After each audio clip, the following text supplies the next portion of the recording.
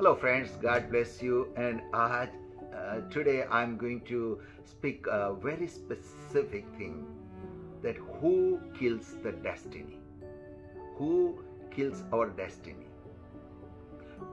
You see, in scripture, Paul talks about the devil is like a roaring lion to devour whoever he can find. Bible is very clear. Devil cannot devour everybody. And he is displayed as a uh, or um, described as a roaring lion. If you have watched any wildlife videos or movies, you know that the lion becomes totally still before devouring the prey or killing the prey. They are so still, make no sound. If they roar, the prey will run away. So then why scripture says that devil is like a roaring lion? And the only reason is because Jesus died and rose again, all authority is given to Jesus on earth and in heaven. Devil has no authority. So what he has is a pretension. He pretends that he has a power and he roars. And when he roars means when he brings lies. And whoever believes on those lies, he can devour them. But not everyone. The person who believes in the promises of God and the finished work of Christ on the cross, devil cannot do nothing. He has no authority, no power.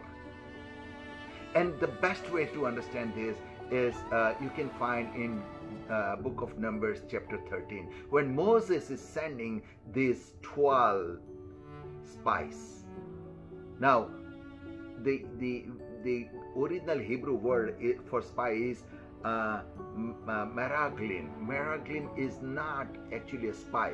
Meraglim is is actually uh, a prince, or the best way, uh, if you want to describe it, would be observer. So these 12, 12 uh, uh, spies or Meraglim observers or the prince, they were selected by God to be a leader for their tribe. And they had a special name.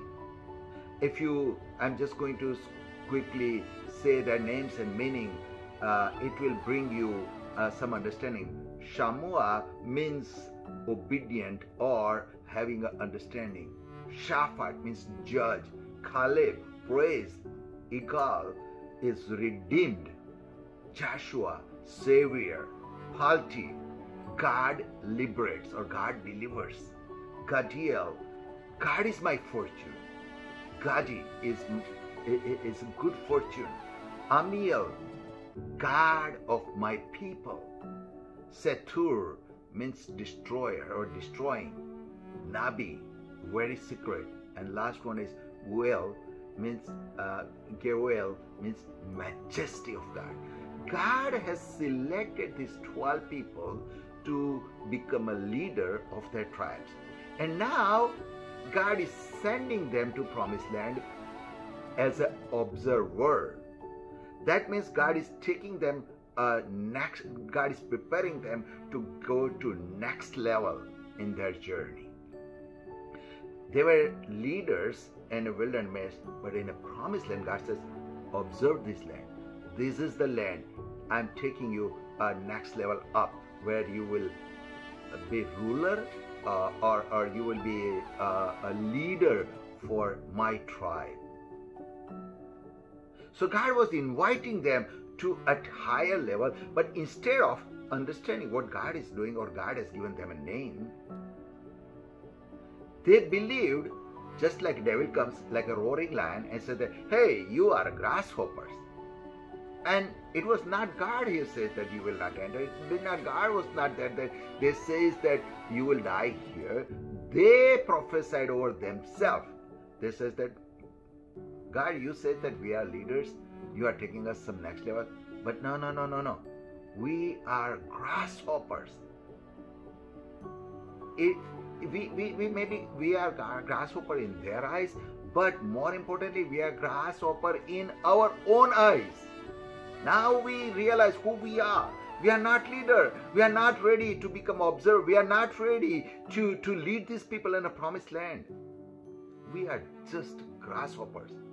And it would be better for us to die in this desert or if we, if would have died in Egypt and now we will die in desert. They prophesied over themselves.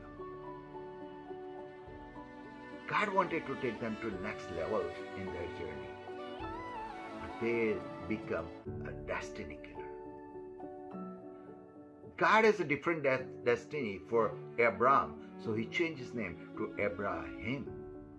God has a different destiny for Sarai, so God changed her name to Sarah. Sarah. God has a different, different destiny for Jacob, so he says that you are no longer Jacob, you are Israel. And God Uh, uh, uh, is going to has plan and purpose and a great destiny for you and me.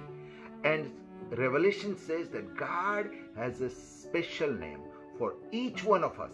The name only God knows. God is willing to give it to us. Whatever or wherever we are in our journey with, with Christ, God is taking us to next level. The only problem is let us not become a destiny killer by hearing the roar of lion. That is devil, who has no power. If we stay who we are in Christ, if we believe in what Jesus has done for us, and when he said it is finished, we are powerful than devil because the Holy Spirit, God Himself, is with us. And Jesus said that all authority and power is given to me on earth and in heaven.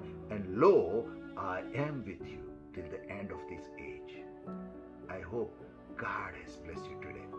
So let us move boldly to fulfill our destiny.